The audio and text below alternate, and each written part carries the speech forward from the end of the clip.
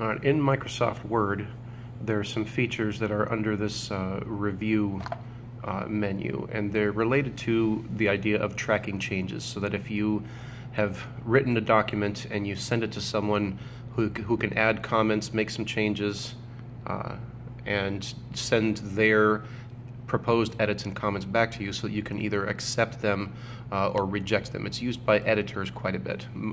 Uh, most people that don't do that sort of thing have little or no use for this. Uh, anyway, those kinds of changes, and the, those changes are tracked in this in the review tab.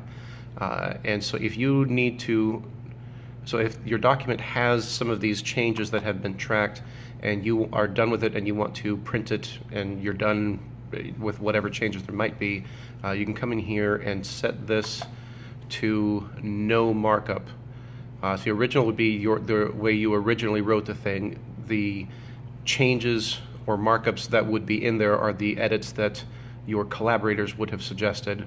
But by the time you're done and ready to print it, you want to change this to no markup so that it will not show all the uh, comments and reviews and changes in the right column here.